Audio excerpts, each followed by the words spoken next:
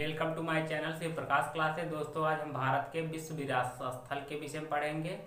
उसके बाद भारत के विश्व विरासत स्थल कहाँ कहाँ स्थित हैं, किस प्रकार से इनकी मान्यता किसके द्वारा दी जाती है। दोस्तों, मैं आपको बताना चाहूँगा, विश्व विरासत स्थल की मान्यता यूनेस्को द्वारा दी जाती है। यूनेस्को का जो कि मुख्यालय पेरिस में है, ये यूनाइटेड नेशन की स्पेशल एजेंसी है। दोस्तों, ऐसा नहीं है कि केवल ये हमारे लिए रोज़गार उपलब्ध कराते हैं, बल्कि आने वाली पीढ़ी के लिए हमको बताते हैं किस तरह की हमारे देश की सभ्यता और संस्कृति थी, उसको संयोग संयोग करने में महत्वपूर्ण भूमिका निभाते हैं। दोस्तों, चलो देखते हैं भारत में कौन कौन से विश्व विरासत स्थल किस राज्य में स्थित हैं। चलो दोस्तों, देख लेते हैं यहाँ पे। हिमाचल प्रदेश में। हिमाचल प्रदेश में कालका और शिमला रेलवे लाइन जो की है, ये विश्व विरासत स्थल है।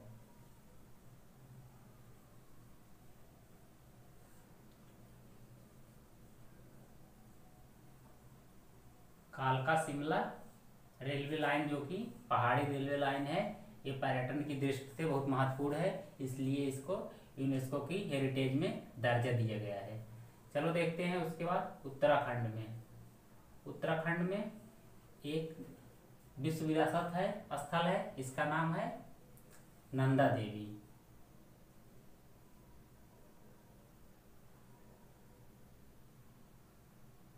दोस्तों, उत्तराखंड में एक विश्व विरासत स्थल है, इसका नाम नंदा देवी है। चलो और देखते हैं। यूपी में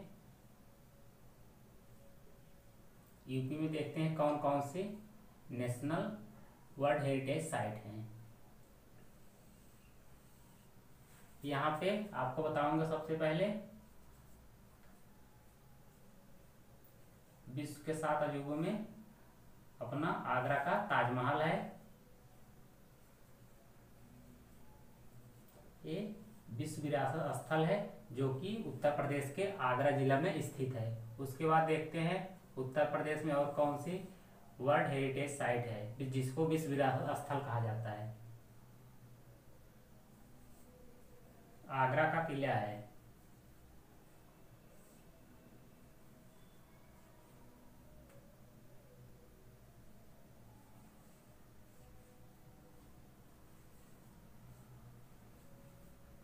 आगरा का किला है।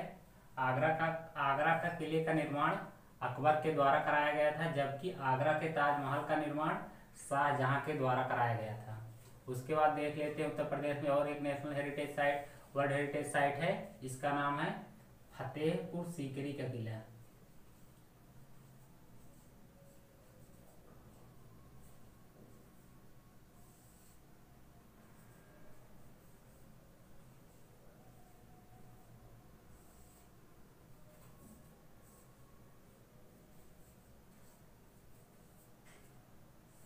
फतेहपुर सीकरी का किला, इसका निर्माण भी अकबर के द्वारा कराया गया था। दोस्तों, आप लोग इसे नोट डाउन कर लीजिए। दोस्तों, चलो देखते हैं, अब बिहार में कौन सा वर्ल्ड हेरिटेज साइट है? बिहार में महाबोधि मंदिर है।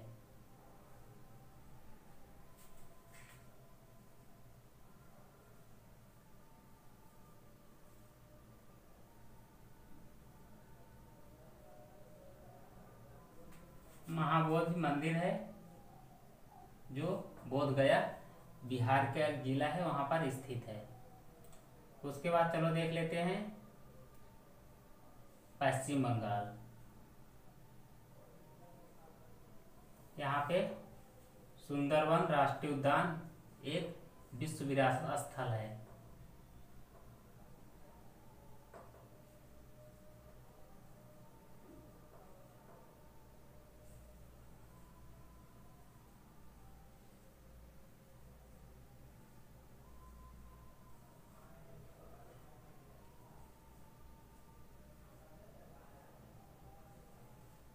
दोस्तों पश्चिम बंगाल में केवल एक वर्ल्ड हेरिटेज साइट है, जिसे विश्व विरासत स्थल कहा जाता है। इसका नाम है सुंदरवन राष्ट्रीय उद्यान।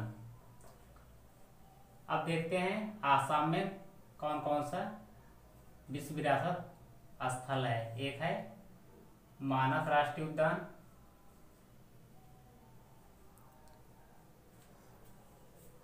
एक मानस है, दूसरा कांजीरंगा है।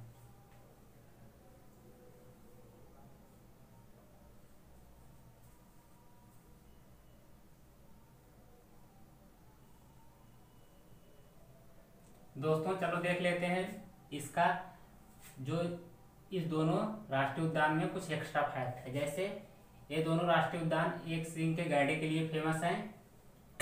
उसके बाद इन दो, इन दोनों राष्ट्रीय उद्यान में जंगली भैंसा भी पाया जाता है।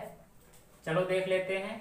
अब उड़ीसा में, उड़ीसा स्टेट में एक वर्ल्ड हेरिटेज साइट है। इसका नाम है? सूर्य मंदिर।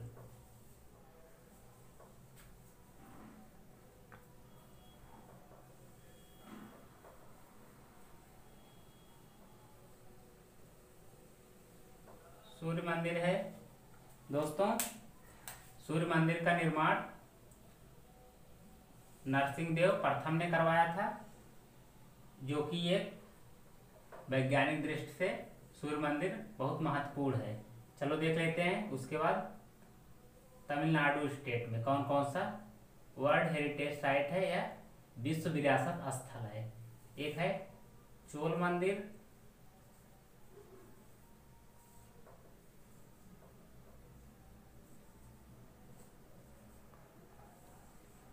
और दूसरा है महाबलीपुरम के मंदिर।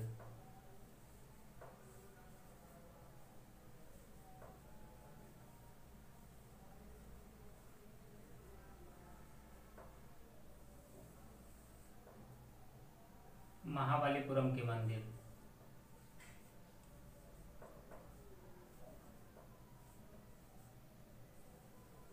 दोस्तों, चलो एक बार क्विक रिवीजन कर लेते हैं।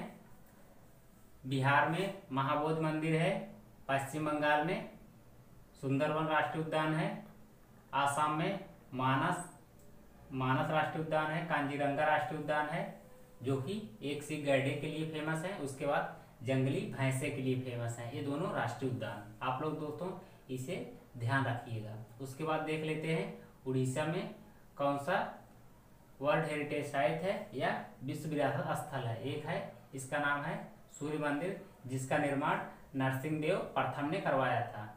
तमिलनाडु में देख लेते हैं, कौन सा विश्व विरासत स्थल है? दो विश्व विरासत स्थल हैं। तमिलनाडु में एक है चोल मंदिर, दूसरा है महाबलीपुरम के मंदिर। चलो, आप लोग इसे नोट डाउन कर लीजिए। चलो दोस्तों, देखते हैं कर्नाटक में कौन सा विश्व स्थल स्थित है। कर्नाटक यहाँ मैं लिख दे रहा हूँ कैसे आप लोग समझ जाइए इसे। कर्नाटक में सबसे पहले है हम्पी का अवशेष।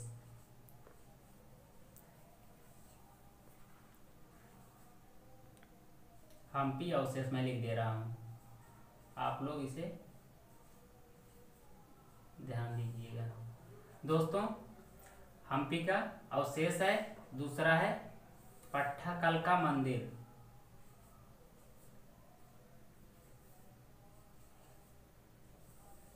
पटकल मंदिर।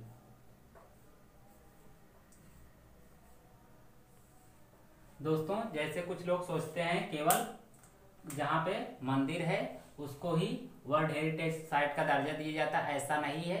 कुछ वहाँ पे खाली स्थल भी रहता है तो आप लोग कुछ वहाँ पे गैर कानूनी तरीके से कोई गतिविधियाँ नहीं कर सकते। कुछ खाली स्थल भी रहता है, उसको ही नेशनल हेरिटेज साइट का दर्जा दिया जाता है। जैसे हम्पी का अवशेष है, यहाँ पे कुछ खाली स्थल है, उसको भी वर्ल्ड हेरिटेज साइट का दर्जा दिया गया है। चलो देख लेते हैं अब महाराष्ट्र में। महाराष्ट्र में सबसे पहले है अजंता की गुफाएँ।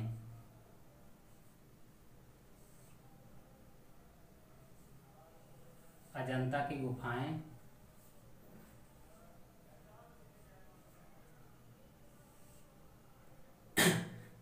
दोस्तों, अजंता की गुफाएँ गुप्त शासक द्वारा बनाई, बनवाई गई थी। उसके बाद ये महाराष्ट्र के औरंगाबाद ज़िले में स्थित है। तो उसके बाद चलो और देख लेते हैं, जो कि महाराष्ट्र में स्थित है।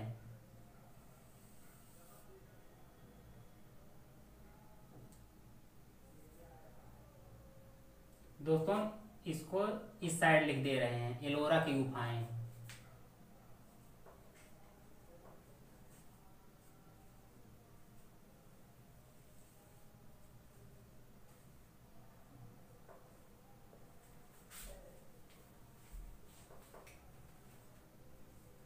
एलोरा की गुफाएँ बौद्धों द्वारा बनवाई गई थी। ये भी महाराष्ट्र के औरंगाबाद ज़िले में स्थित है। चलो देखते हैं उसके बाद एलिफेंटा की गुफाएँ। एलिफेंटा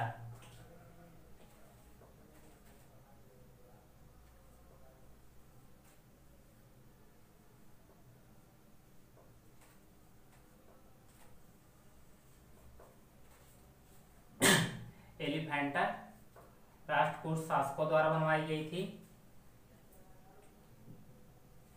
दोस्तों, चलो एक बार रिवीजन क्विक कर लेते हैं। कौन कौन सा?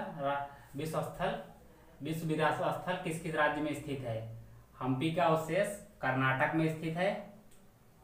उसके बाद पटकक्कल का मंदिर कर्नाटक में स्थित है। महाराष्ट्र में चलो देख लेते हैं कौन कौन सा? विश्व विरासत स्थल स्थित है। महाराष्ट्र में सबसे पहले अजंता की गुफाएँ जो कि महाराष्ट्र के औरंगाबाद ज़िले में स्थित है, इसको गुप्त शासकों द्वारा बनवाया गया था। एलोरा की गुफाएँ ये भी महाराष्ट्र में स्थित है, इसे पौधों द्वारा बनवाया गया था। चलो दोस्तों, महाराष्ट्र में एक और भी विश्व विरासत स्थल है, जिसका नाम है शिवाजी टर्मिनल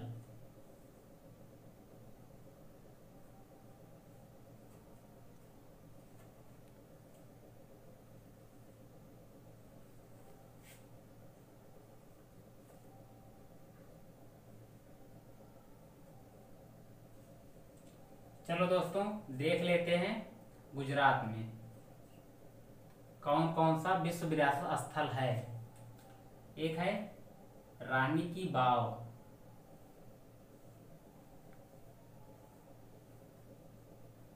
रानी की बाव को 2014 में नेशनल वर्ल्ड हेरिटेज साइट का दर्जा दिया गया था, जो सौ सौ रुपए के नोट पर इसका चित्र छपा हुआ है।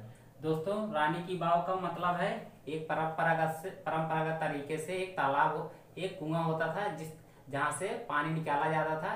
इससे हम लोग वर्तमान में सीख सकते हैं किस तरह से पानी का संरक्षण किया जाता था हमारे भूतपूर्व समय में। चलो दोस्तों, देख लेते हैं और अहमदाबाद सिटी है। अहमदाबाद विश्व की पहली सिटी है जिसको विश्व विरासत स्थल का दर्जा दिया गया था।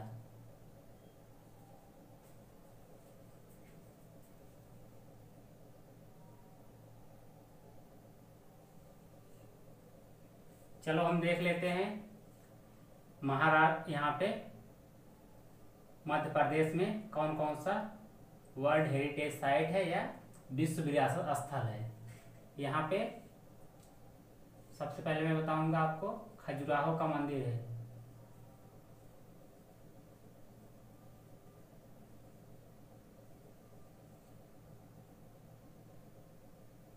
खजुराहो का मंदिर है।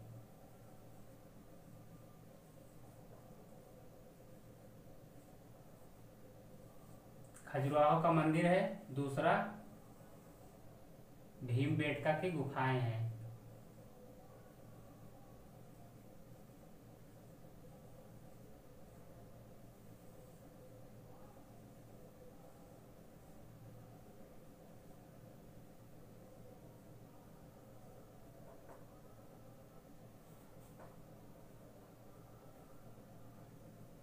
चलो दोस्तों, एक बार क्विक रिवीजन कर लेते हैं। जैसे गुजरात में रानी की बाव है, जिसको 2014 में विश्व विरासत स्थल का दर्जा दिया गया था, उसके बाद अहमदाबाद है, जिसको जो विश्व की पहली वर्ल्ड हेरिटेज साइट का दर्जा दिया गया था, अहमदाबाद सिटी को।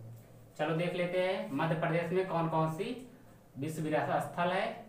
एक है खजुराहो का मंदिर, दूसरा है भीम बेड़का की गुफाएँ। चलो देख लेते हैं, दोस्तों दिल्ली में कौन कौन सा विश्व विरासत स्थल स्थित है?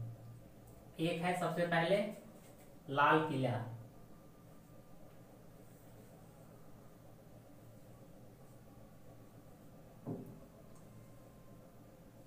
लाल किला है दूसरा है हुमायूं का मकबरा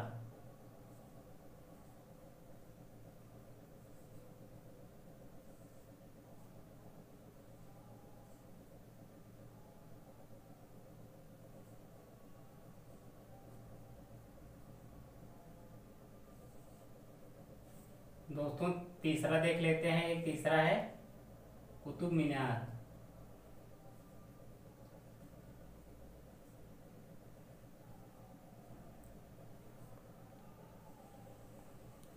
चलो दोस्तों, एक बार कोई रिविजन करवा देते हैं, दिल्ली में कौन कौन सी विश्व विरासत स्थल स्थित है? लाल किला है, उसके बाद दूसरा है कुतुब मीनार, तीसरा है हुमायूं का मकबरा। आप लोग दोस्तों इसे नोट डाउन कर लीजिए। चलो दोस्तों अब देख लेते हैं राजस्थान में कौन कौन सा विश्व विरासत स्थल स्थित है। सबसे पहले आपको बताऊँगा जंतर मंतर। जंतर मंतर जो कि जयपुर में स्थित है, एक विश्व विरासत स्थल है। उसके बाद है कुंभलगढ़।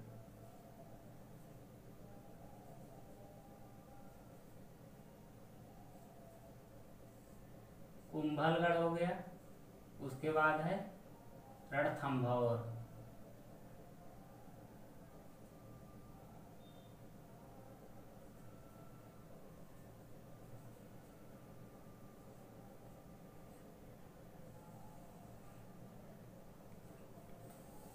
कुंभलगढ़ हो गया, दोस्तों, उसके बाद रणथंभौर का किला हो गया, उसके बाद और देखते हैं।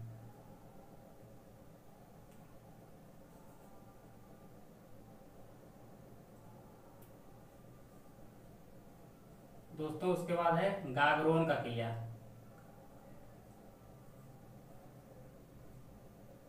दोस्तों, यहाँ पे मैं ऐसे लिख दे रहा हूँ, आप लोग यहाँ पे किला समझ जाना, सभी में किला लगा हुआ है, क्योंकि यहाँ पे इतना ज़्यादा स्पेस नहीं है। और दोस्तों, देखते हैं, एक है आमेर का किला, एक है जैसलमेर का किला।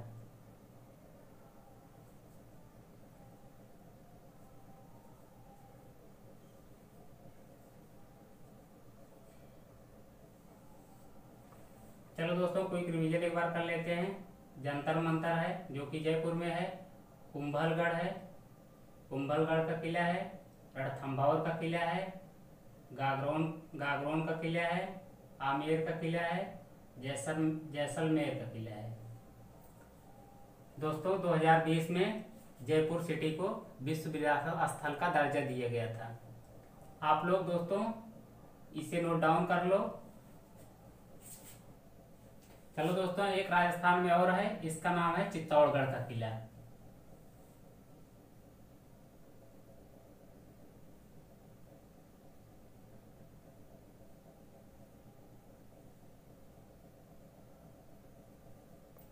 चित्तौड़गढ़ का किला